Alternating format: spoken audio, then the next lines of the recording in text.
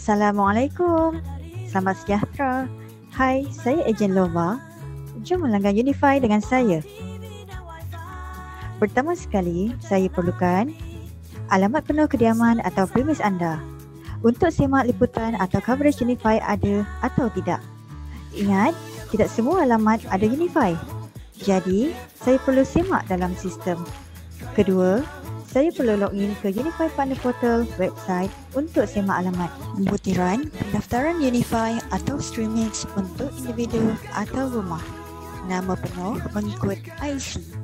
Nombor IC, nombor handphone, email, alamat pemasangan, package debut.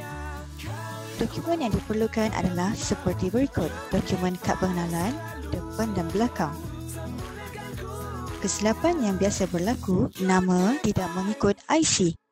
A stroke L, A stroke B, S stroke O, T stroke O, alias, titik, tanda dan sebagainya.